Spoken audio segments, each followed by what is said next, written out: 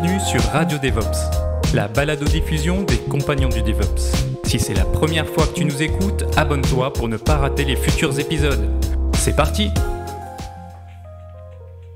Bonjour à toi chers compagnons et bienvenue dans ce nouvel épisode de Radio DevOps, déjà le neuvième épisode et aujourd'hui euh, c'est le nouveau format, on va faire uniquement un débat et on va parler de conteneuriser mais jusqu'où?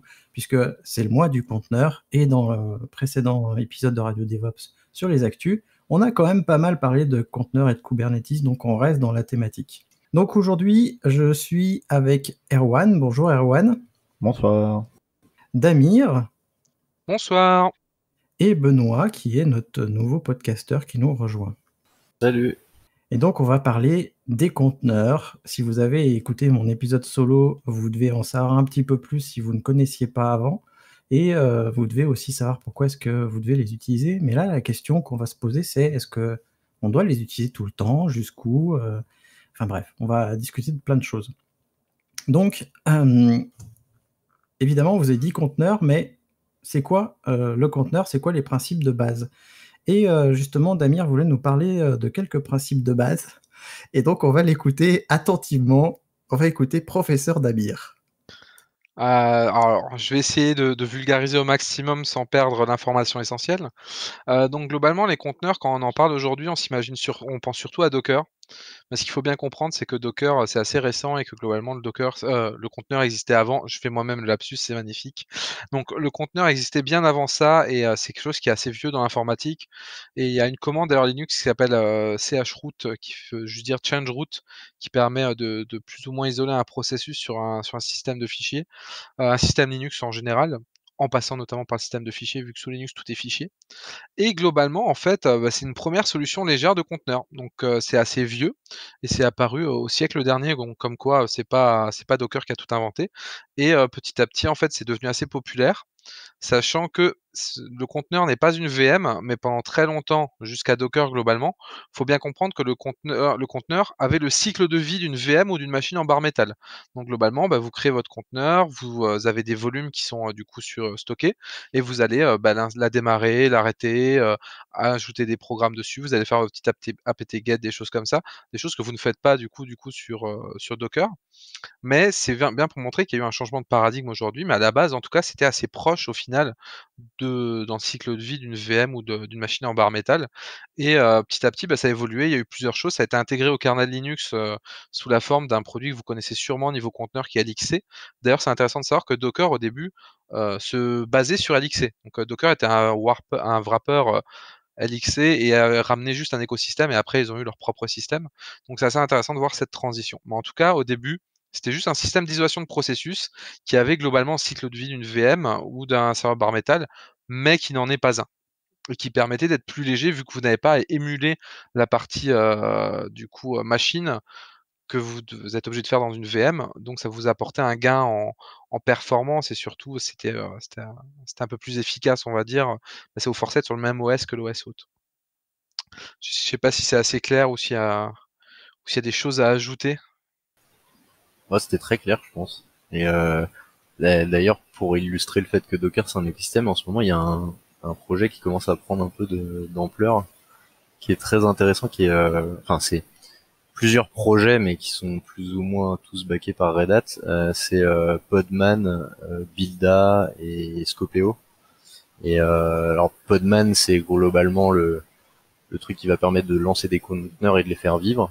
Euh, euh, Builda, c'est le truc qui va permettre de, construire les, images euh, pour ensuite les donner à, Podman. Et euh, Scopeo, c'est le truc qui permet de manipuler les registres et les images stockées à distance, il me semble.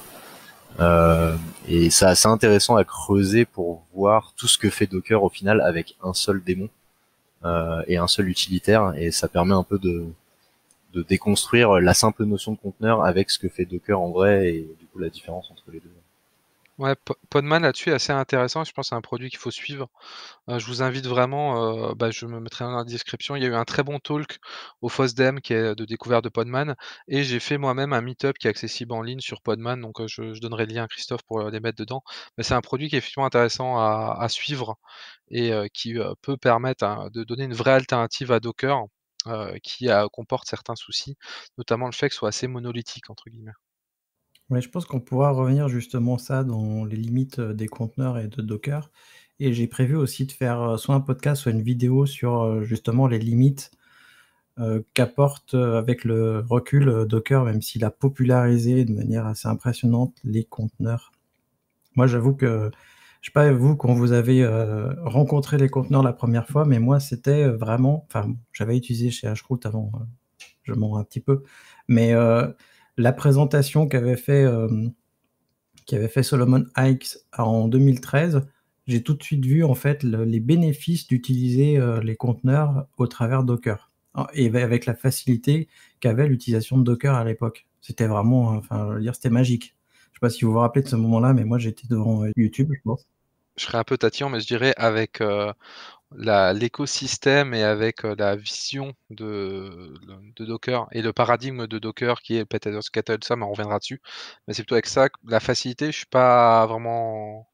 Moi, je pense que c'est un peu différent en fait dans, dans l'idée. Moi, j'ai pour info, moi j'ai commencé le conteneur avec OpenVZ il y a même un petit bout de temps, ça devait être en 2011 ou un, truc comme ça.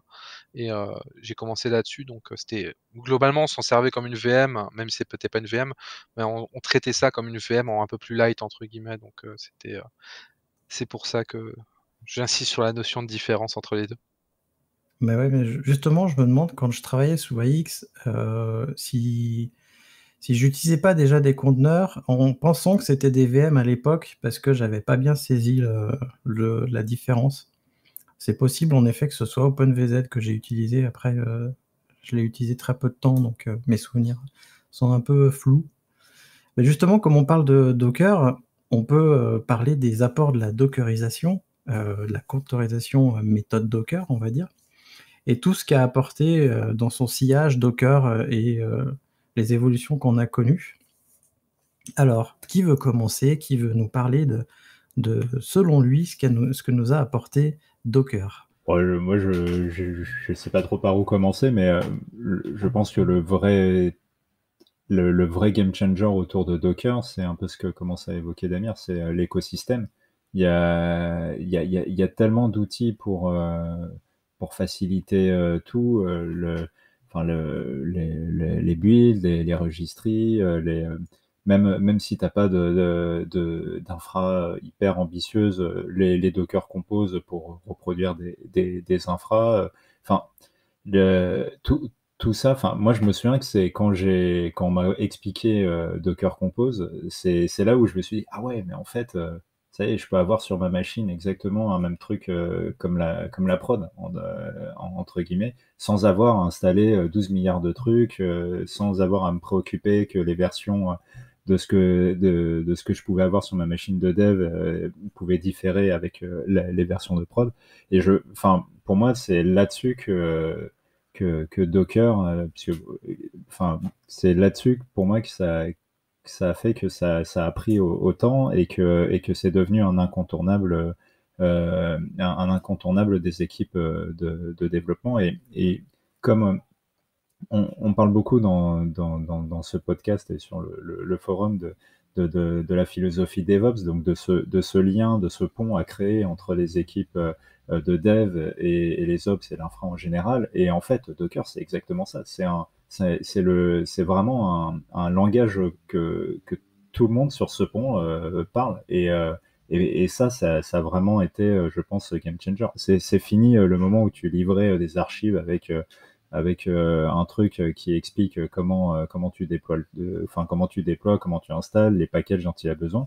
Maintenant, tu fournis, bah, tu fournis juste un, fichier qui correspond à ton à ton Dockerfile. Enfin, j'exagère, mais vous voyez l'idée. Et, euh, et, et, puis c'est fini. Et, euh, et ça, c'est un langage que, que, tout le monde comprend. Et pour moi, c'est euh, là-dessus euh, le que Docker a vraiment bah, vraiment fait le switch et, qui bah, je sais pas si vous rejoignez ce, ce point de vue Benoît peut-être? Euh, si si complètement enfin c'est le moi aussi j'ai l'impression que c'est ça qui a qui a fait que ça a été adopté aussi largement et c'est ça aussi l'intérêt c'est que ça simplifie les échanges entre euh, le développement et la, et la prod. Euh, ça permet d'avoir un langage commun et ça effectivement c'est un peu c'est un peu la base de tout. c'est voilà, enfin, oui, moi aussi, des fois quand j'en parle, j'ai un peu l'air de, de critiquer, mais au final, je remets pas en question le fait que que ça ait vachement facilité les choses euh, dans mes deux précédents boulots. Euh, si j'avais pas eu euh, Docker et son écosystème, mon travail aurait été bien, bien, bien plus compliqué. Donc, je, je vais clairement pas cracher dans la soupe. Hein. C'est, on est d'accord là-dessus. Peut-être que Damir veut pondérer ce que je viens de dire. Non, non, mais je pense que vous avez, euh, dit des choses assez intéressantes et euh, je suis plutôt d'accord avec vous dans, l'idée générale. Après, moi, je pars vraiment du principe, je vais utiliser ce mot beaucoup trop de fois aujourd'hui, hein, mais c'est paradigme, c'est que Docker, quand il est arrivé sur le marché, il est arrivé au bon moment avec le bon écosystème, en fait et au bon moment où les paradigmes justement changé. C'est-à-dire qu'ils sont venus sur le marché quand le DevOps commençait un peu à se démocratiser, on commençait à en parler, on commençait à vouloir, comme Erwan le disait, on a dit on va faire parler les équipes de Dev et d'Ops, mais il faut qu'ils aient un langage commun, il faut qu'ils se retrouvent quelque part, il faut qu'il y ait ce connecteur en fait. Il y a eu ça. Il y a eu euh, du coup le principe du pet versus cattle qui a commencé à apparaître et à exploser, de se dire bah notre machine, on va plus la traiter en fait comme un animal de compagnie, on va plus donner un joli petit nom en mode vous avez tous connu vous des petits serveurs qui ont des jolis petits noms euh, genre euh, Balthazar, trucs comme ça. ils ont tous des petits noms, on en prend soin, on s'en occupe. Quand il y a un truc qui va pas, on essaie de comprendre, on les répare. Et on est parti dans l'idée versus euh, bah, de l'abattoir où on se dit, euh, on lance la machine. Bah là, un souci à la machine, bah on la trash, euh, on la on en recrée une autre avec le même programme. Et en fait, ça, ça a commencé à être populaire. Docker le permettait, le facilitait. Il y a eu l'infra code aussi qui commençait à apparaître. On se disait, il faut quand même mettre tout le code qu'on a, il faut le mettre quelque part, il faut le mettre dans Git. L'infra, il faut essayer de la diriger encore plus vers du code. Et du coup, Docker, bah, avec le Dockerfile, avec après Docker Compose et des choses comme ça, il commençait quand même à, apporter cette notion-là. Et il y a il y a ensuite une notion très simple, c'est que ça va aussi permettre au niveau communication, si vous avez un Dockerfile par exemple, bah, aux ops et aux devs en fait d'avoir ce point de, contact dans Git et de se dire bah le dev il va faire son image ou l'admin va dire attends j'ai changé ton image, tu fais une pull request parce que là tu faisais tout en route, je t'ai mis un utilisateur que j'ai créé etc. Donc il y a cette, cette, idée de collaboration qui a vachement été poussée du coup par ça, je, pense quoi. Je sais pas ce que tu en, ce que en penses de tout ça, Christophe. Moi, je. En fait, euh, pour moi, ça a été un révélateur euh, de ce que je voulais faire. Parce qu'à l'époque où j'ai découvert Docker, je me rappelle, je travaillais encore, euh, j'étais gestionnaire d'applications chez Casino et j'installais des applications, j'étais même pas encore administrateur système. Et j'avais déjà des problématiques d'isolation à l'époque qui étaient pas totalement réglées avec chroot. Tu t'en parlais, mais c'était pas totalement réglé. On avait encore des soucis, etc. Quand j'ai vu comment la facilité qui était apportée, et comme tu le dis, hein, le paradigme qui était apporté, je me suis dit ah ouais, faut faut que j'investigue là.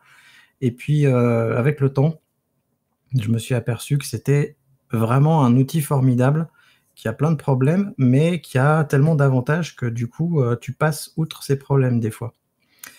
Et euh, pour moi, il y a un truc que j'ai découvert justement avec le temps, c'est euh, l'aspect des microservices et, et qui du coup ne pouvait pas exister avec les VM parce que quand tu lances une VM, tu t'installes une application avec tout ce qui va avec. Mais là, c'est tellement facile de lancer un conteneur et une petite euh, enveloppe avec euh, juste, juste une petite API ou une petite application dedans que tu peux faire des services pour chaque bout de ton application. Et comme ça, tu peux mettre à jour bah, chaque bout indifféremment et tu peux morceler tes équipes, les faire travailler sur plein de projets. Tu peux utiliser ton bout de microservice sur un autre projet. Enfin, je pense que là, ça a apporté une dimension encore différente euh, grâce à ça. Et du coup, c'est l'infrastructure qui vient bousculer un petit peu le développement. Je trouve que c'est assez intéressant pour le coup, cette, euh, ce, bousculement. Est-ce que vous, vous l'avez vécu euh, dans, vos métiers? Alors Erwan, comme toi, tu es, chez un éditeur finalement de SaaS, est-ce que cet aspect microservice, vous vous le mettez en place?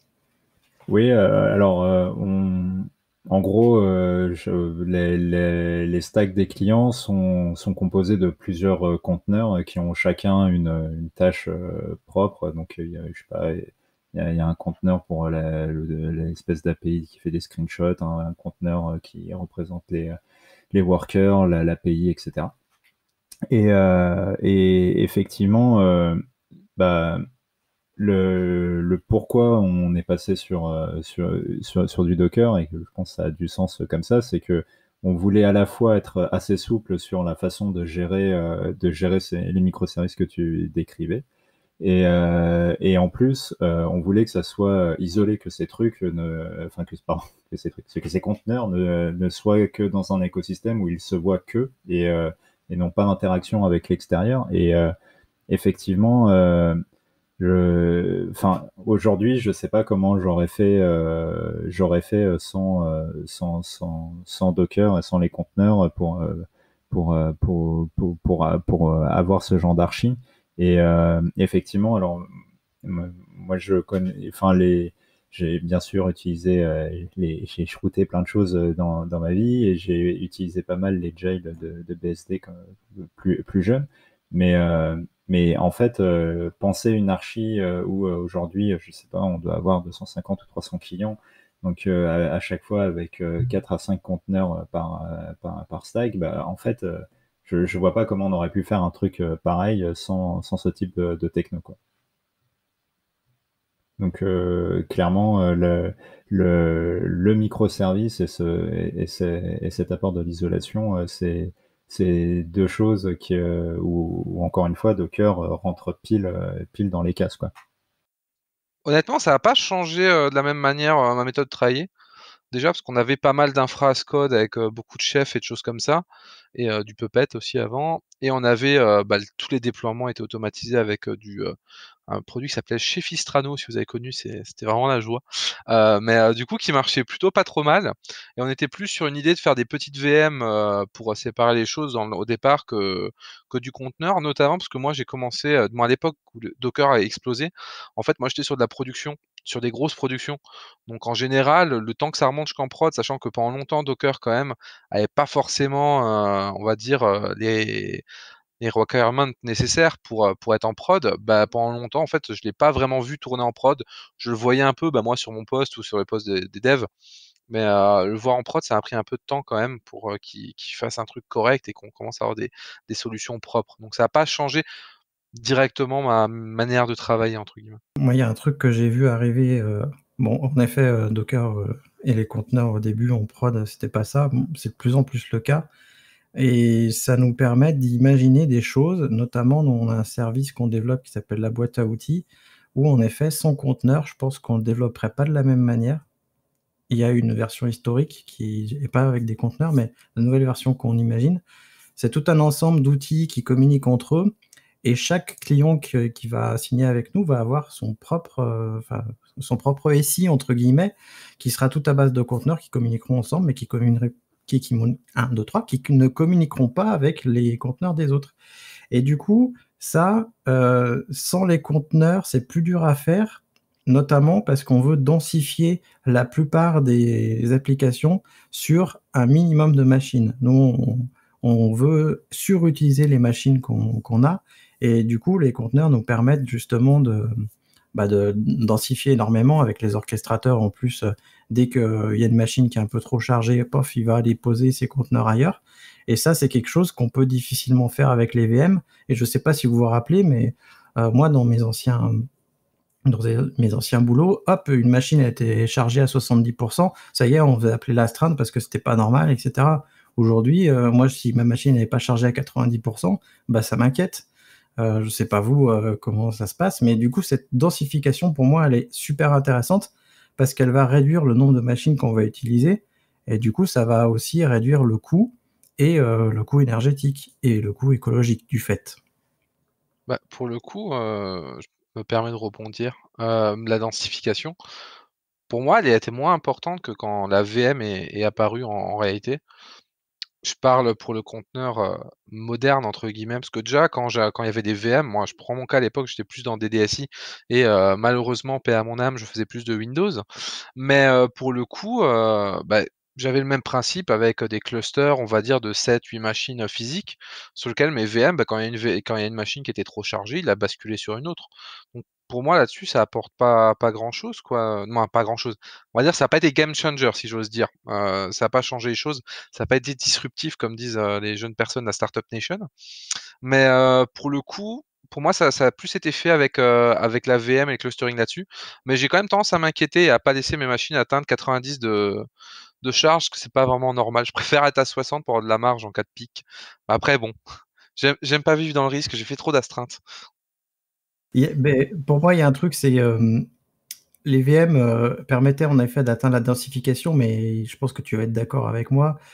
une VM, c'est quand même beaucoup plus consommateur qu'un conteneur, quelque part. Et du coup, en fonction de ce que tu prévois pour ton infrastructure et ton application, l'un ou l'autre des cas va pouvoir s'adapter. Je ne dis pas que tout doit aller dans les conteneurs, évidemment. Ah non, là-dessus, je suis d'accord avec toi. Je dis juste, et je l'ai, clarifié au début, euh, l'apparition du conteneur à la Docker, entre guillemets. Avant, quand euh, je faisais déjà du conteneur, perso, on avait déjà densifié là-dessus.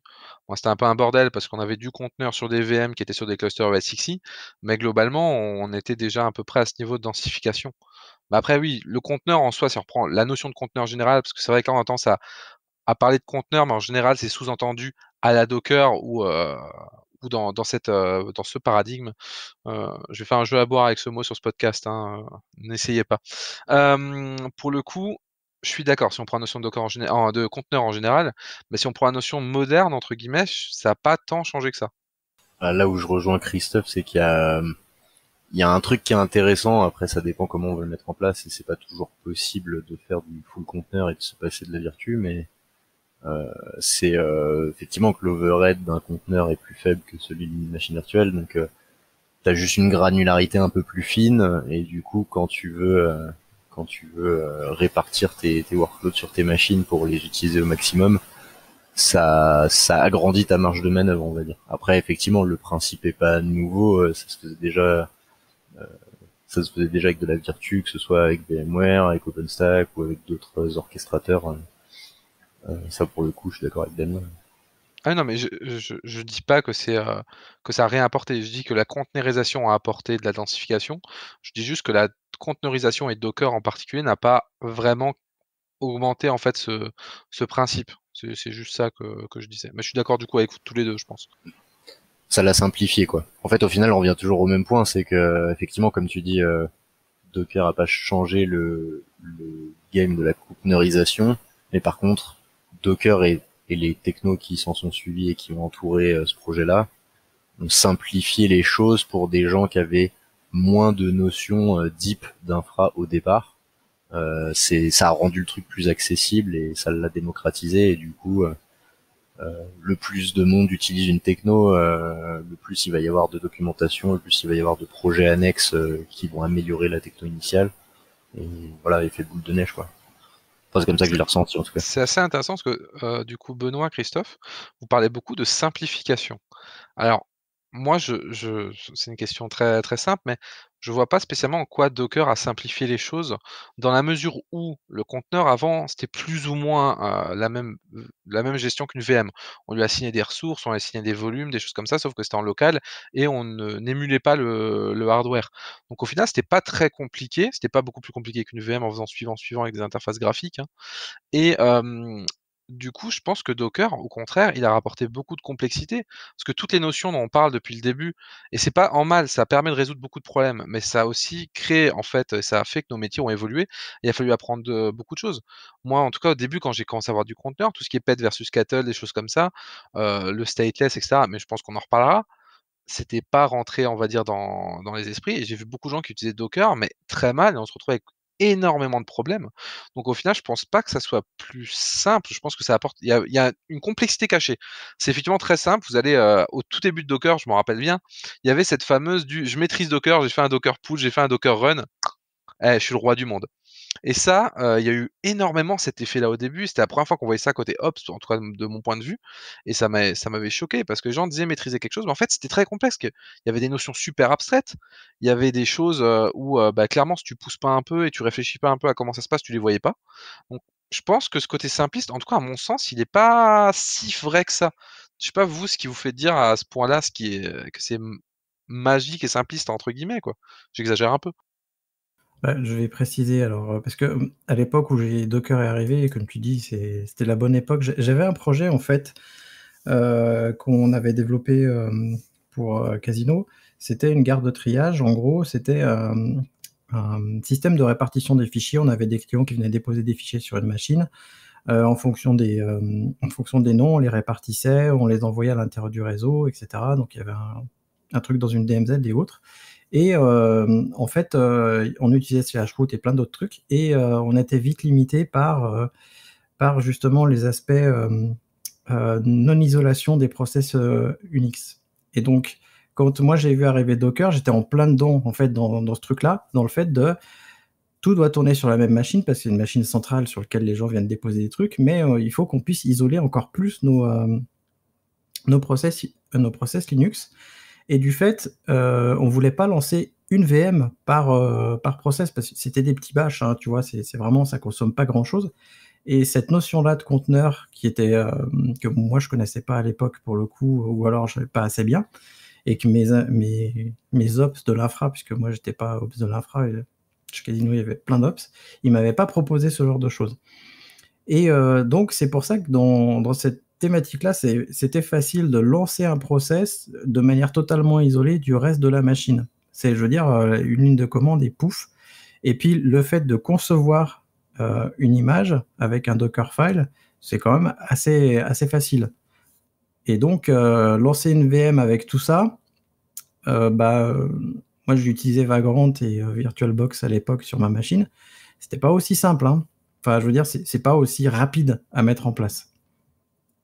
On va dire ça dépend, ça dépend du use case, ça dépend de l'existence, c'est un, peu, plus complexe. Il y a un contexte à avoir. Et pour être tout à fait honnête, le contexte de l'époque, je connais plus par cœur. Même si euh, mon âge avancé euh, m'a pas encore effacé tout à fait ma mémoire, ça remonte quand même. Il y a beaucoup de choses qui sont passées, donc repasser les choses dans les bonnes dates, c'est un peu compliqué. Mais ok, mais ce que je veux dire, c'est qu'il y a quand même de la complexité et que c'est pas, pas magique, quoi. Ouais, non, je, vais reformuler ce que j'ai dit tout à l'heure. Effectivement, le Damir il marque un point. Euh, c'est pas une simplification au sens pour faire la même chose, mais c'est plus que ça proposait une nouvelle voie. Enfin, là c'est mon ressenti. Hein. C'est ça proposait une nouvelle voie euh, qui était très où la barrière, euh, la barrière à l'entrée était très basse euh, donc c'était c'était facile à prendre en main. Ça veut pas dire qu'on maîtrisait la techno, mais ça veut dire que on comprenait très vite le principe et les avantages que ça pouvait apporter. Par contre, effectivement, euh, ça a eu plein d'inconvénients, notamment euh, le fait que au départ tout le monde se, se, ruait sur le Docker Hub public pour publier des images, utiliser des images sans regarder comment elles étaient construites. En termes de sécu, en termes de stabilité, il y a eu des tonnes de soucis et les exemples manquent pas.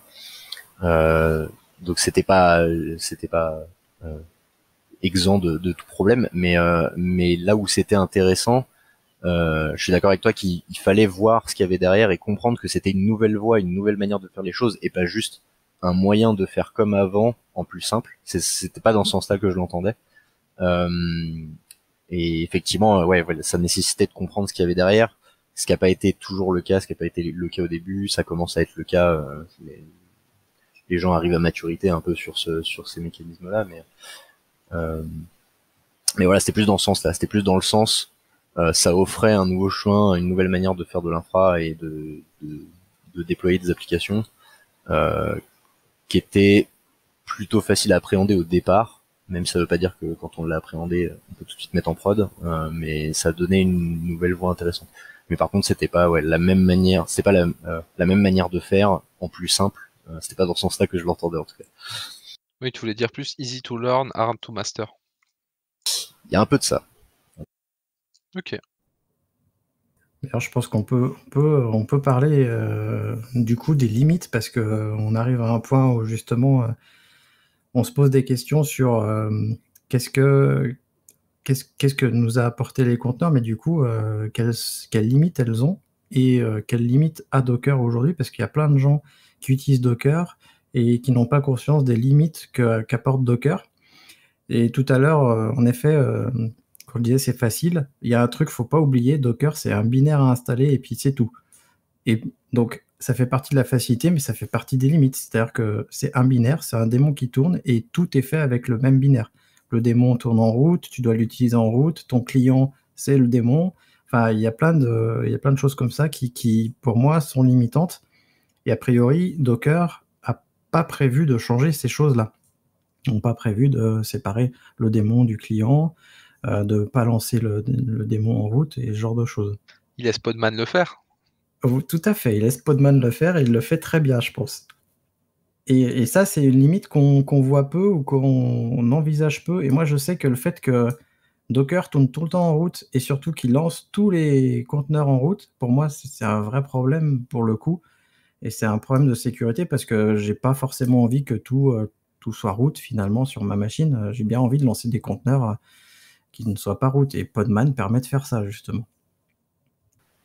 Et tout à l'heure, Benoît, tu parlais justement de, des euh, enfin de, des images qu'on récupérait. Et moi, c'est vrai que je, dis tout le temps aux gens quand vous utilisez des images, allez lire le Dockerfile, comprenez ce qui est fait dans le Dockerfile, parce que si vous prenez l'image comme ça, toute bête, ça, ça va vous poser des problèmes et vous savez pas ce que les gens ont injecté dedans. Donc déjà, il faut lire le Dockerfile et puis il euh, faut bien le tester. Faut bien comprendre ce qui est fait, parce que si vous avez un problème, et eh ben du coup, c'est en fonction de comment le conteneur a été fait qu'il va falloir euh, agir. Je sais pas ce que ça vous évoque justement le fait d'aller euh, lire les Dockerfiles. Est-ce que vous lisez déjà les Dockerfiles de toutes les images que vous utilisez? J'imagine que oui. Hein.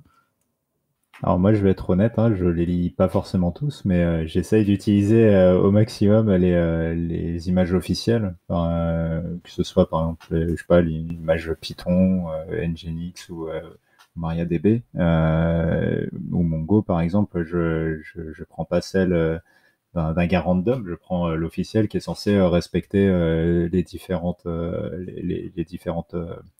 comment dirais-je, euh, requis euh, pour avoir le, fameux badge sur Docker Hub euh, qui, va bien. Donc, donc, donc voilà. Et puis par contre, ce qu'on ce qu'on fait là où je suis, c'est que toutes les images qu'on qu'on bah, effectivement qu'on récupère et, ou qu'on produit, elles passent elles passent dans les dans la moulinette là qui analyse les différents layers pour pour les feuilles de sécu.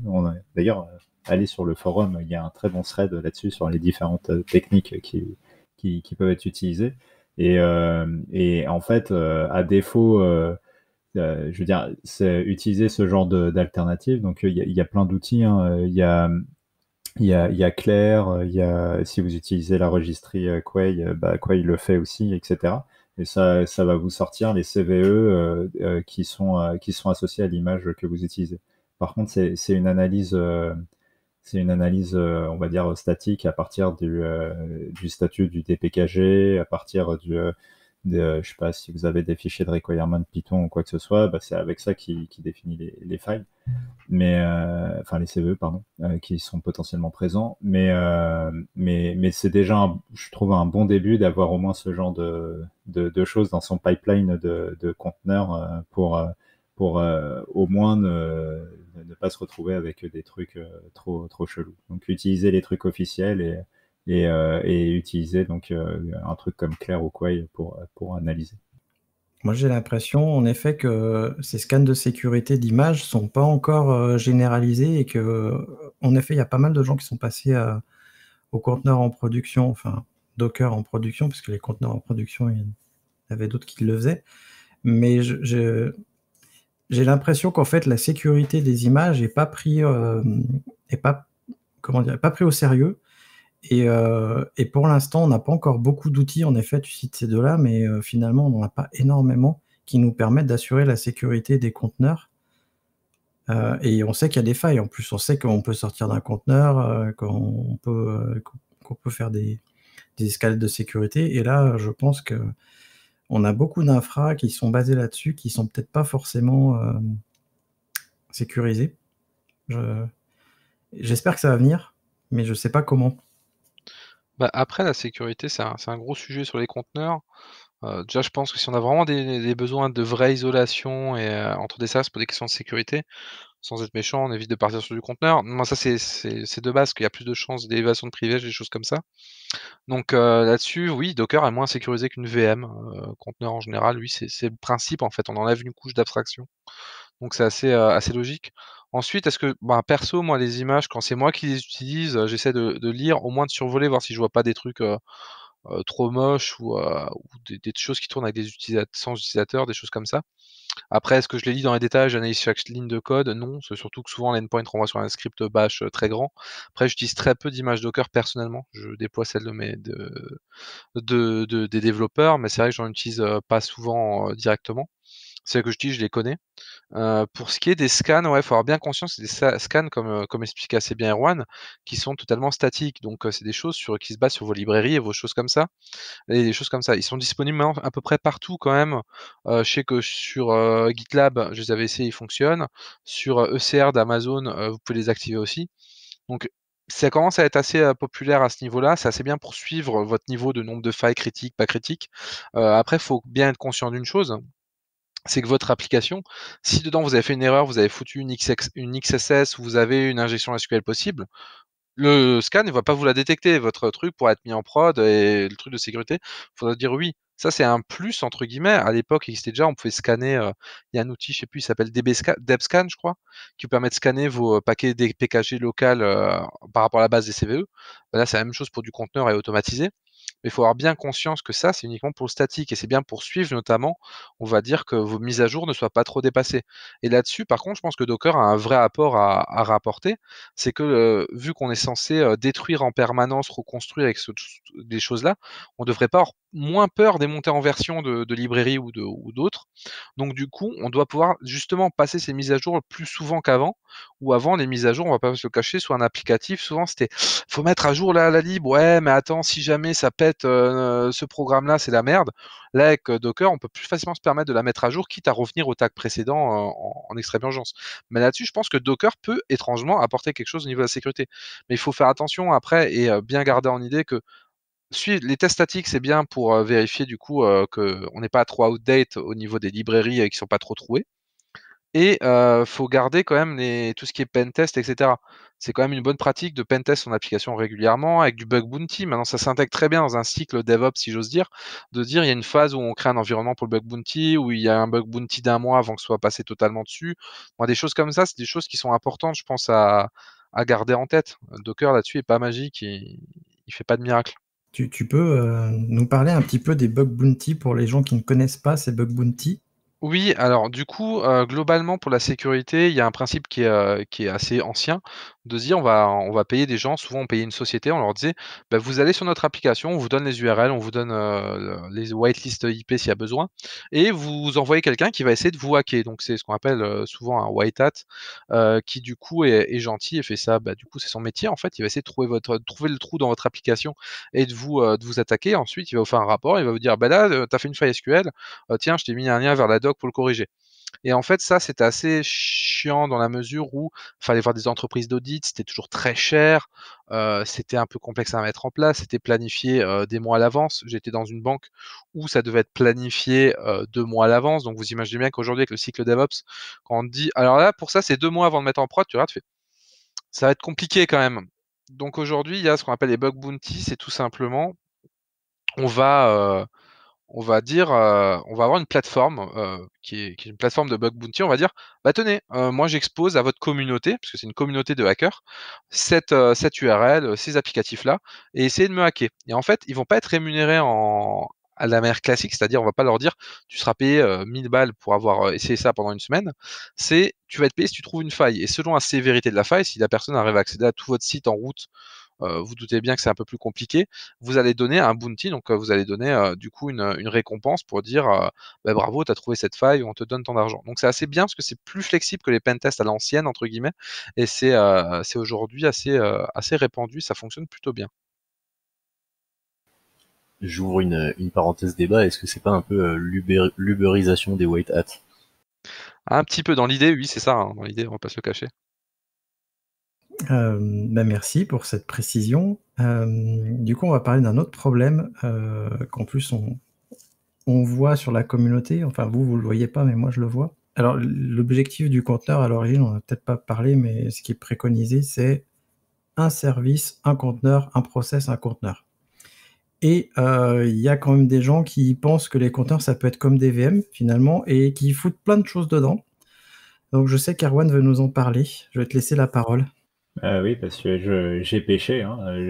J'ai un moment euh, dans ma vie euh, fait euh, un espèce de fat conteneur qui faisait 3 gigas, qui, était formidable. Il faisait tout. C'était beau. Mais je, je, comprends aussi, enfin, je ne suis pas arrivé à faire ça juste pour le défi. Hein. En fait, il y avait un vrai besoin business et il faut savoir que là où je travaille, on fait du on-premise. Donc, du on-premise, c'est quoi? C'est la capacité de reproduire ce qu'on fait en SaaS, mais dans une infrastructure qu'on ne connaît pas. Et si pendant longtemps, ça, on, on s'est débrouillé à, à, à faire à faire ça avec euh, avec des scripts Ansible et tout qui, qui marchaient, mais bon, euh, forcément les gens qu'on avait en face n'étaient pas toujours à l'aise avec euh, avec, ça et donc des fois on allait un peu dans le mur. Ben Docker, c'est de quand on s'est dit, mais en fait ça va être trop bien, on va leur fournir un conteneur qui fait tout. Comme ça, les mecs, ils ont juste à faire un Docker run et, moi, je fais plus de support. Et dans ma tête, c'était c'était c'était la fête du slip. Quoi. Je me disais que c'était vraiment vraiment le un truc euh, de ouf. Et, dans les faits, ça a vraiment marché. Il y a énormément de clients qui trouvaient ça trop cool. Ils disaient Ah, ça fait 3 gigas, on s'en fout, euh, vas-y, euh, envoie-la. ah, mais c'est trop facile à installer, j'ai juste à, faire ça et ça passe. Ouais, ouais, t'inquiète. Et, et, en fait, du coup, je comprends qu'on puisse arriver à faire ça, même si c'est pas une bonne pratique. Mais en vrai, il y a, Alors, je vous rassure, hein, depuis, on fait plus ça. ça. Mais ça a quand même duré, je pense, bien 6-8 euh, mois, quoi. On, s'est reposé là-dessus. Euh, et, mais par contre, euh, il y, a, des éditeurs, c'est leur vraie stratégie. Je ne sais pas si vous connaissez la solution Discourse, mais par exemple, Discourse, ça vient avec un conteneur qui, il y, a tout dedans, quoi. Il y a, du Nginx, du Postgre, ça, ça, compile, ça compile en Ruby, ça, enfin, et et en vrai, je comprends pourquoi ils font ça, parce que j'ai été dans le même cas. C'est trop bien. Euh, discours, euh, tu connais rien, euh, tu, lances le truc, tu n'as même pas besoin de mettre de reverse proxy ou je sais pas quoi, euh, tu peux le mettre sur une machine à la con et, et, ça va marcher nickel. quoi. Donc, donc en fait, si je comprends l'intérêt l'intérêt quelque part, en fait, on va absolument à tout l'opposé de ce pourquoi les, les conteneurs, euh, enfin les, Docker a essayé de pousser, donc euh, euh, des, des, des, des, mini des mini conteneurs qui sont monotâches, etc. avec très peu de process dedans. Et mais mais en vrai mais en vrai, on se rend compte que bah, ça arrange quand même pas mal de gens, des fois, d'aller dans ce sens-là. Et je, sais qu'il y a plein d'autres éditeurs. Alors, j'ai pris Discourse en, exemple, mais je, je, sais qu'il y a, d'autres solutions qui font exactement la même chose. Euh, juste pour en revenir aussi, moi je me souviens qu'au tout début, quand on faisait du on-premise, le pourquoi on, a, on était passé par cette fat c'est qu'on avait demandé vite fait aux clients qui voulaient faire du Docker et on se rendait compte qu'ils faisaient tous euh, des trucs hyper différents et on s'était dit, oh là, ça va être relou si on doit supporter, euh, enfin si on doit faire le support de ça. Euh, moi, j'ai envie de faire du support sur notre solution, pas sur euh, comment ils vont euh, exploiter le truc. Et, donc, on s'était dit, bah voilà, avec une fat image, on va pas se poser la question de, je sais pas, quelle est leur version de Docker Compose, s'ils utilisent Docker Compose, comment ils utilisent Kubernetes ou Swarm ou j'en sais rien. Euh, et, donc voilà, enfin, et du coup, c'est assez rigolo parce que c'est clairement une mauvaise pratique, mais on se rend compte que ça, que, ça aide dans pas mal, dans pas mal de cas et que, que certains éditeurs reposent, reposent là-dessus. Je ne sais pas si vous aussi vous avez pêché, euh, mais ou si euh, vous, vous connaissez des solutions qui, qui ont aussi opté, opté pardon, pour, pour un fat conteneur. Je vais prendre la parole du coup parce que j'ai pêché deux fois. J'ai pêché deux fois la première un instant en discours parce que le forum des compagnons est basé sur discours et du coup j'ai découvert ça. Alors en plus, alors moi j'ai beaucoup de j'ai beaucoup de problèmes avec discours. J'adore discours, hein, mais l'installation déjà c'est du fat container et en plus c'est un langage de templating qui est un peu particulier. Donc dès qu'on veut le mettre à jour ou faire quelque chose, c'est pas facile, c'est compliqué, tout. Enfin bon, ils nous promettent une mise à jour en un clic, mais des fois faut aller sur la machine, faut recharger euh, un, script, faut rebuilder l'app et puis ben, voilà, ça prend, ça prend des plombes. Et surtout, euh, bah, ça se cale pas parce que tout est dans un seul conteneur. Donc si jamais je veux séparer la base de données du serveur d'application, ben, je peux pas. C'est clairement pour moi il y a un problème. Et puis j'ai fait ça aussi avec euh, GitLab, puisque GitLab propose une version avec un conteneur. Et alors GitLab, euh, c'est la double peine. Non seulement c'est un fat conteneur, mais c'est un fat conteneur qui est buildé au moment où tu le lances avec des euh, recettes chef. Donc euh, bravo. J'adore GitLab, mais pour le coup, là, s'il vous plaît, arrêtez de faire ça.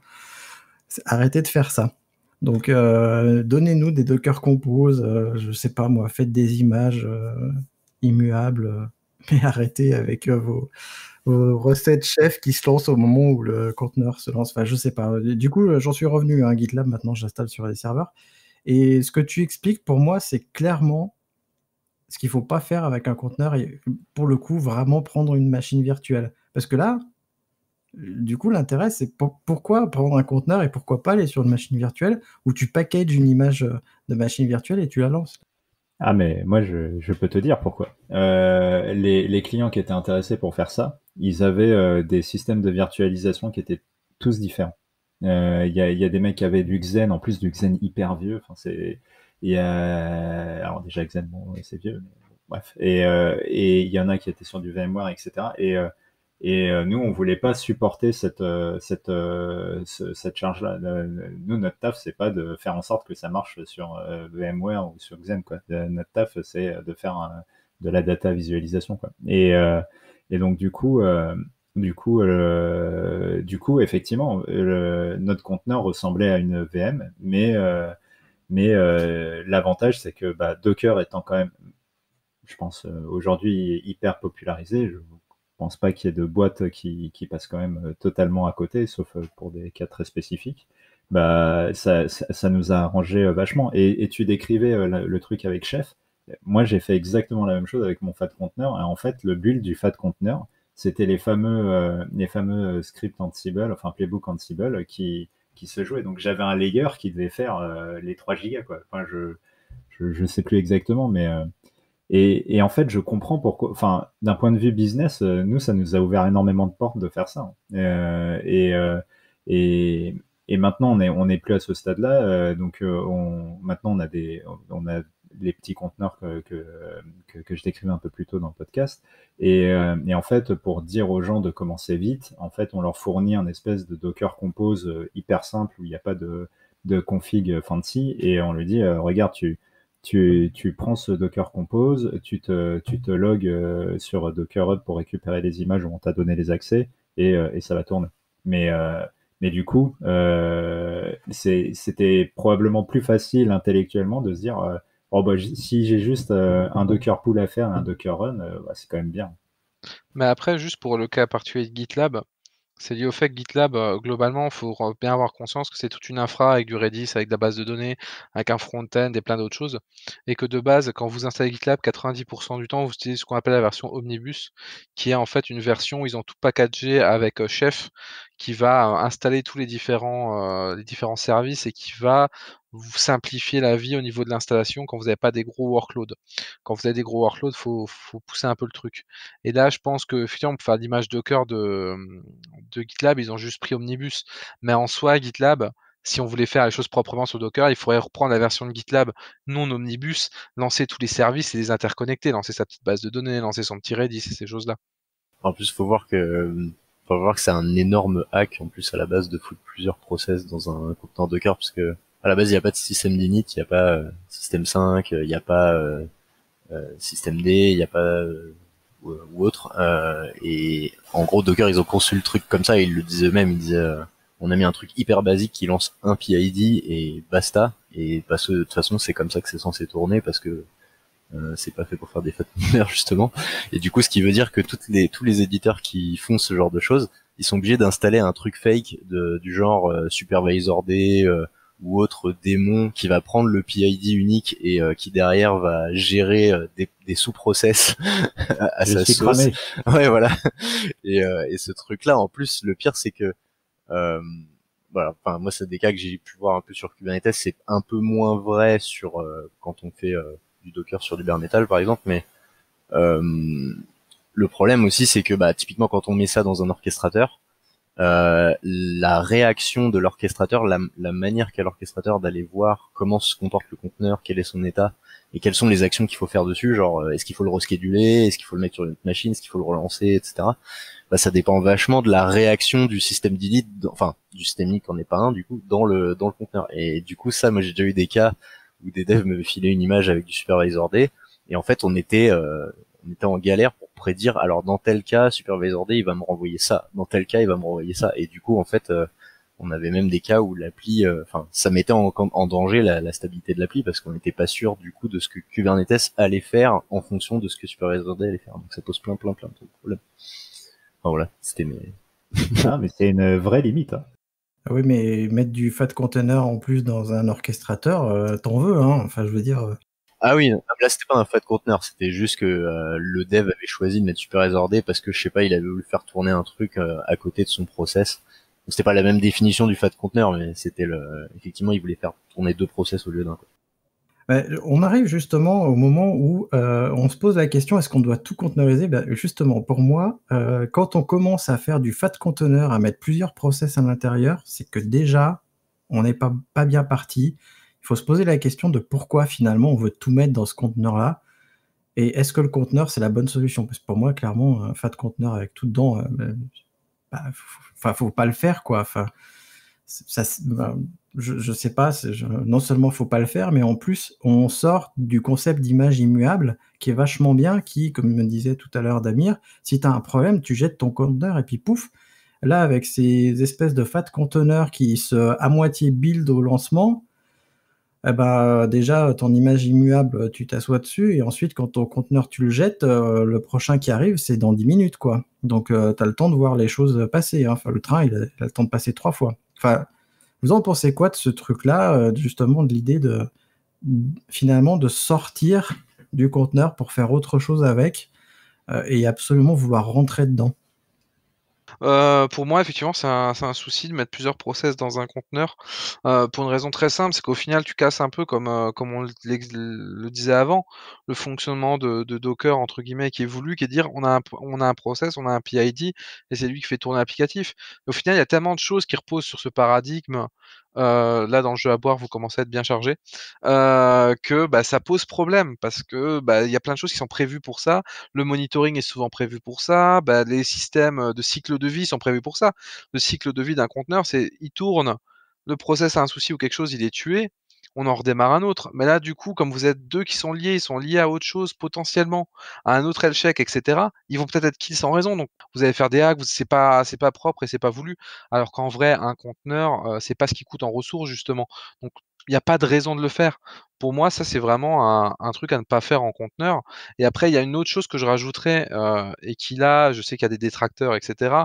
Mais moi, c'est mon point de vue, c'est euh, de faire tourner tout ce qui est stateful euh, comme des bases de données dans des conteneurs. parce qu'à mon sens, déjà, bah, tu as, des problèmes d'IO, on va pas se le cacher. Souvent, et bah, si tu le mets dans un cluster ou quelque chose, bah, le cycle de vie il est totalement pété aussi. Une base de données, ça n'a pas le cycle de vie d'une application. C'est un cycle de vie qui est totalement à part. Et pour moi, ça, c'est très important de, le respecter, entre guillemets. Je sais pas toi ce que tu en penses du coup, Erwan? Bah, justement, c'est ça, c'est ça que je voulais évoquer aussi. C'est quid d'une, ouais, d'un MySQL, d'un Mongo. bah, est-ce que est-ce que c'est une bonne pratique de, mettre ça dans des conteneurs bah, c'est sûr que en dev, il n'y a pas de débat. Hein. ça, sauve vraiment la, mise de, pouvoir euh, démarrer un Mongo en deux secondes sans avoir à se prendre la tête, euh, à installer quoi que ce soit, etc.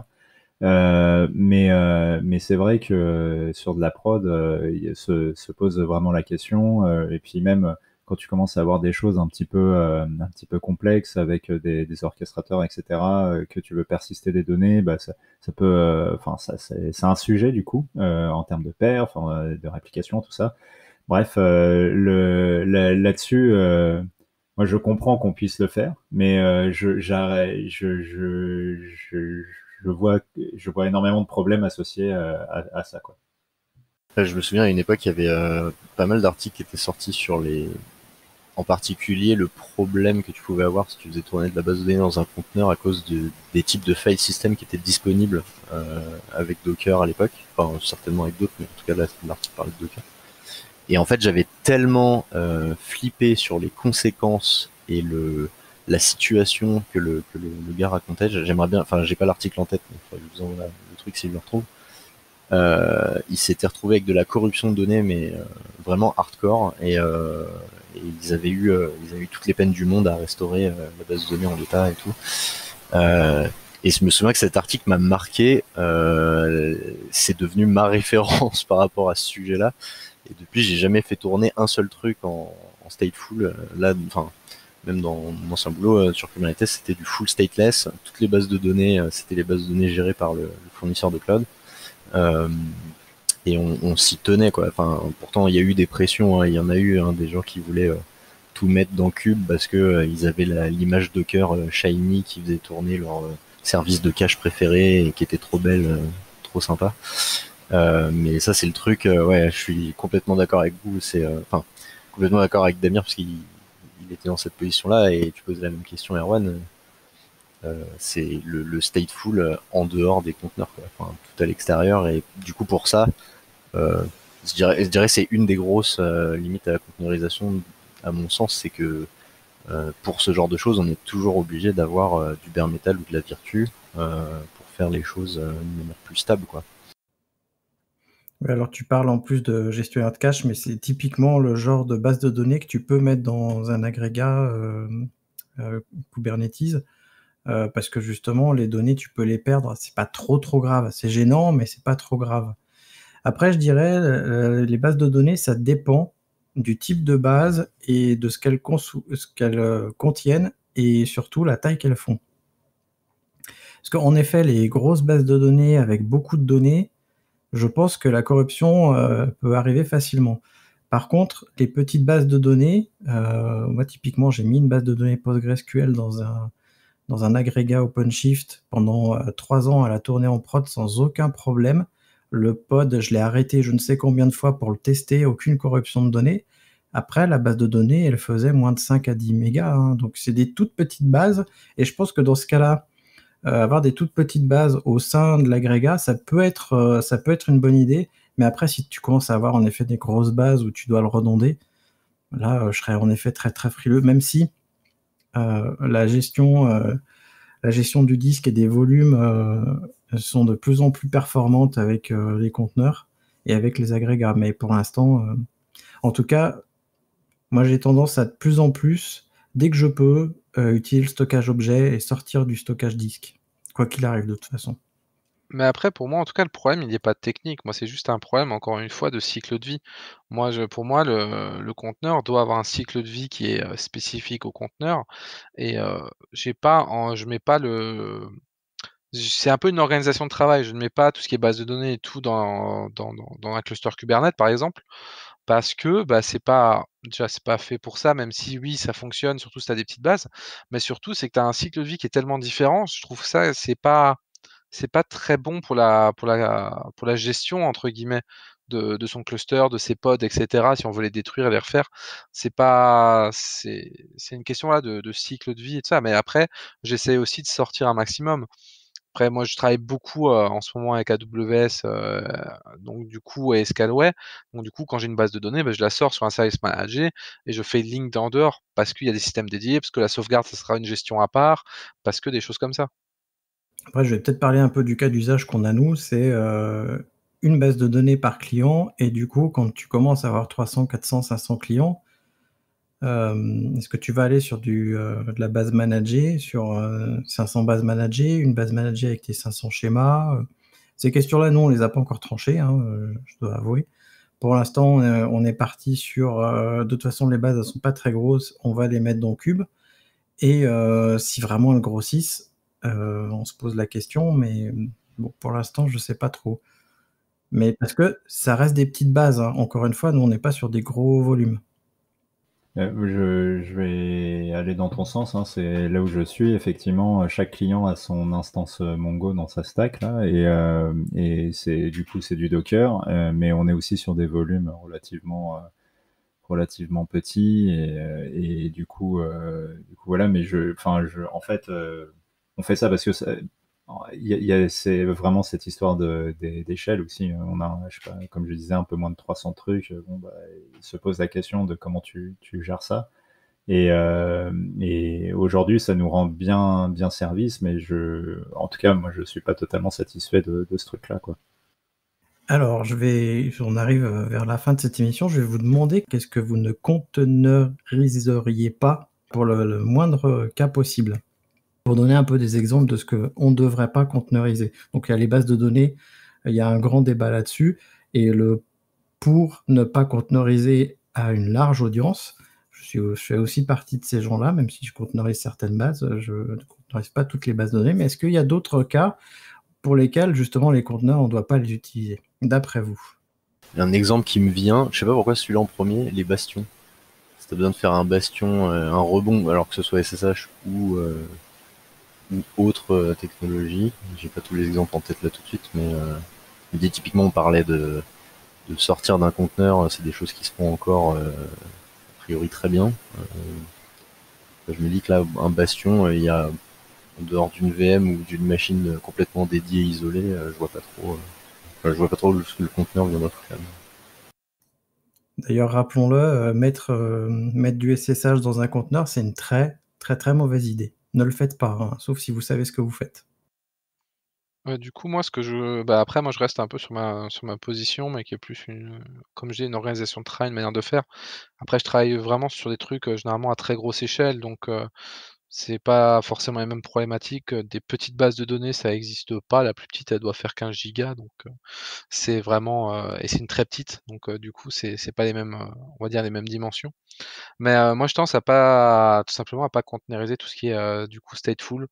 C'est une vision des choses. Après, on peut être pour, on peut être contre. J'essaie au maximum en tout cas de m'y tenir, même si des fois il peut y avoir des exceptions et j'essaie, comme disait Christophe, de le déplacer soit dans du S3, soit un autre service manager, soit au pire, une partie en IaaS. Mais en tout cas, ouais, là-dessus, j'essaie d'être assez intransigeant. Et sinon, pour être un peu plus troll, je ne containeriserai pas un master AD Windows dans un Windows Core qui est dans Docker parce que, voilà, les conteneurs Windows, moi, c'est trop lourd, je trouve. Mais bon, c'est encore un autre débat. Mais c'était la petite pointe de troll, bien sûr, pour la fin. Euh, moi, j'ai pas, j'ai pas d'idées qui me viennent en tête là comme ça, euh, parce que je, le, vraiment, je rejoins un peu Damir, même si je, j'en utilise, je, je suis pas hyper satisfait, mais ouais, dès que c'est stateful, euh, j'ai l'impression que ça, enfin, on, fait un truc un peu à contre-courant, euh, un peu comme les fat, euh, les fat d'images. Hein. on peut les faire, mais euh, bon, c'est pas, c'est, pas ouf. Et donc, donc non. Après, ce que je containeriserai pas, je sais pas trop. j'imagine que dès que probablement essayer de faire des trucs qui jouent peut-être un peu trop avec du hardware ou quoi que ce soit, ça, ça, doit pas être très malin non plus. en fait, non, je sais, je sais trop rien. Bon, mais je crois qu'on va clôturer euh, là-dessus. Si euh, vous n'y voyez pas d'inconvénient, je pense qu'on est arrivé au bout. En plus, ça fait plus d'une heure, alors que d'habitude, on atteint l'heure avec les actus. Là, on a atteint l'heure sans les actus. Autant dire que cet épisode est très long.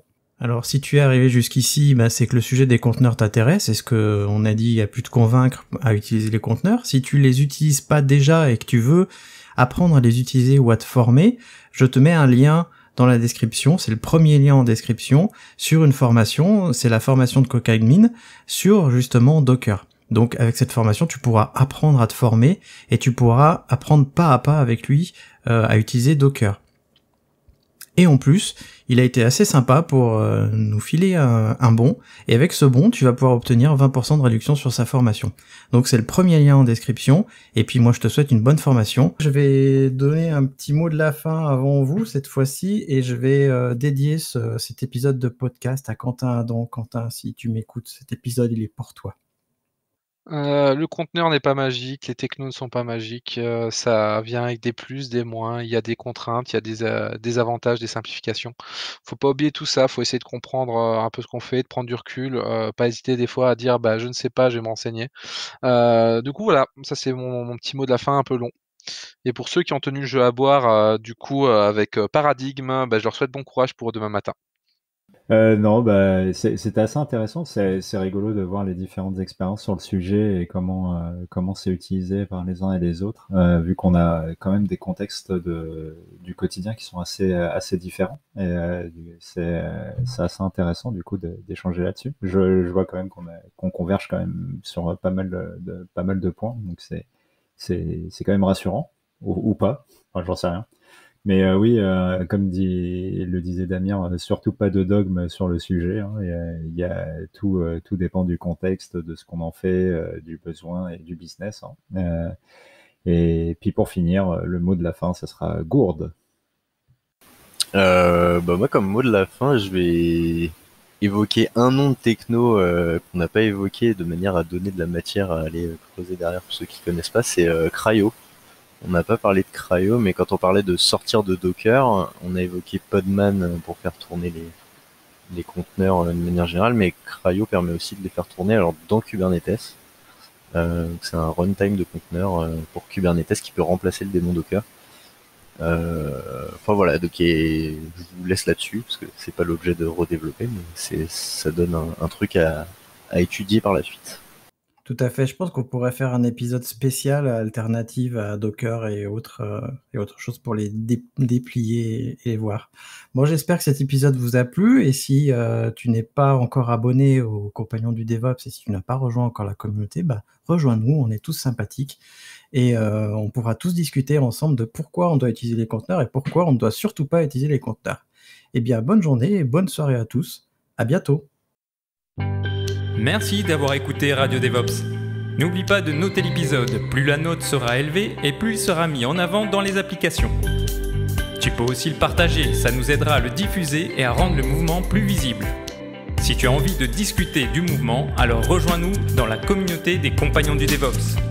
A bientôt La balado-diffusion des compagnons du DevOps est produite par l'Hydra.